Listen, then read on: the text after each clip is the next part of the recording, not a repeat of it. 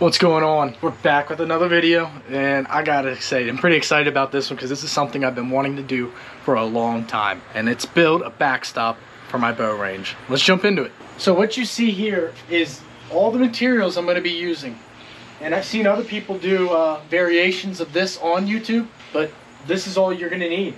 I got three 2x4s, a 2x6, a horse stall mat, some washers, screws, drill, tape measure, straight edge as well as a level, a pen to mark, and circular saw. That, that's all you're that's all I'm gonna use. So I've been shooting long distance recently, and the problem is all of my shots when I reach out to 70, 80, 90 yards, I'm too nervous about those shots going way past. I don't want to go beyond my target, and if I'm off, whether I'm to the right, left, or high, which are my main concerns, I don't have a way of stopping my arrows.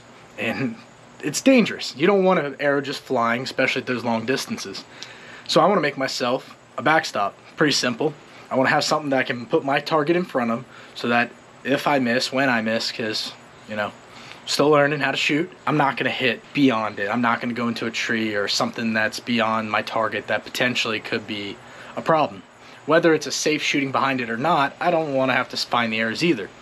I've already lost a couple errors, don't want to lose more. So we're going to make a 3 foot by 4 foot backstop, which should be plenty of distance, uh, behind the uh, behind the target, and that's what we're going to do. Let's jump into it. First things first, we got to start measuring some things.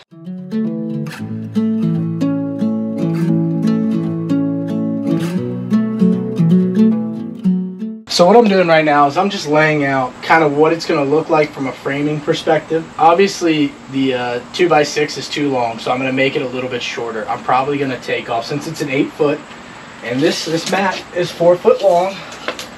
Yep, it's a 4 foot long mat. And I want to have a hang off though. I want it to be able to hang off a little bit. I think I'm going to cut it down to 6 feet so it has a foot or maybe yeah 6 feet so it has a foot hanging off each side. I think that'll be plenty. And then since these are three feet, I just got to cut these down to, well, realistically, do I want to have it?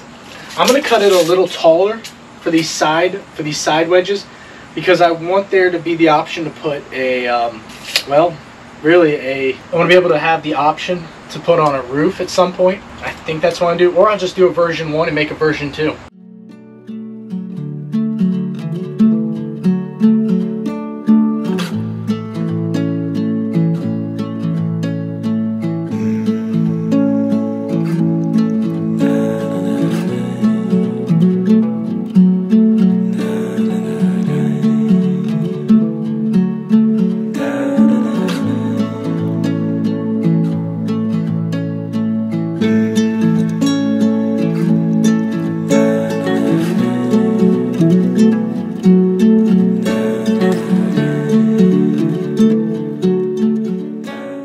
So the screws I'm using are three inch threaded Phillips head screws and they're gonna be perfect. I mean, this is what I have laying around and washers because I want to keep the mat in place.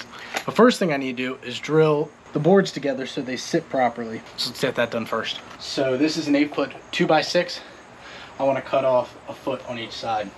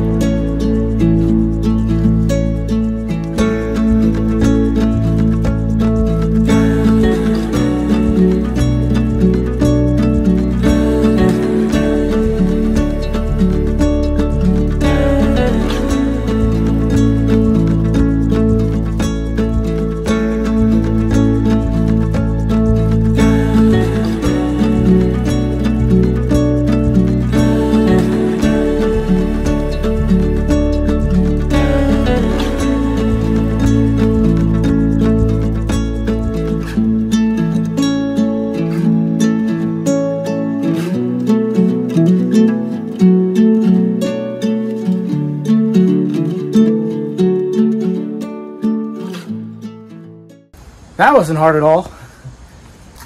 I've seen some other people use deck screws, but I'm going to use what I've been using for the whole thing. We'll see how they work out. I'm using a washer with it so it holds it in place.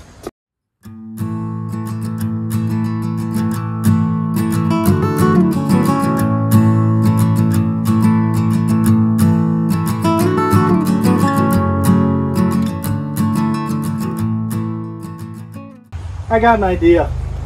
I'm gonna cut a board in between the back of here so this touches it and it's just one solid piece.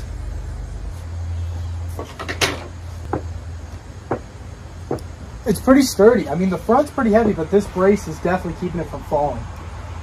Now to do the 20 yard test.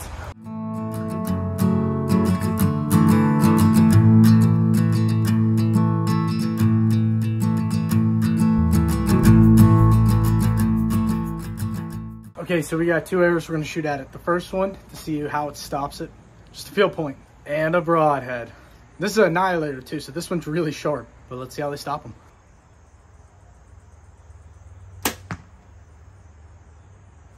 Holds up pretty well. Broadhead test.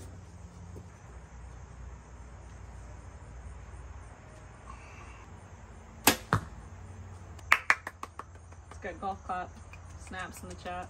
Well, so it held up pretty well. That's the broadhead and the field point at 20 yards. The field point didn't go through as far. The broadhead almost went all the way, but it, you know, it, it stopped at the fletchings, which, oh, this is gonna be a pain to get out, but I'd say it's a success. Well, there it is, you know, I count this as a win. Wasn't too crazy expensive. Here's the total cost behind it. And honestly, it wasn't that bad. It took about, what time is it? It's about 6.50. We started this around 5.30. So a little over an hour and 20 minutes, 10, an hour and a half. Say 90 minutes it takes to really build it. But as you can see, it really does stop the field points and the broadheads at close distance. Realistically, we're only going to be using it at longer distance anyway. So we have that nice backstop you see there at the top of the hill. So we're shooting 70 and 80. We're not looking all over the place if we don't hit the, you know, hit our target which is fine. That's all we wanted it for. And this is only a 3x4 target, so they can do bigger ones. So they have bigger mats like Tractor Supply and other places. But this I'm calling it Prototype 1. It is a little heavy to move. Had to put it on the wheelbarrow to get it up there. But I'm thinking about putting some wheels on it or making another one and have them at each distance and putting wheels on it so they're able to move around. But for now, that's the first one. Again, the total cost wasn't too bad. It's definitely something I would recommend trying for. Overall, count as a win. Well, that's it for this one. I'll catch you guys in the next one. See ya!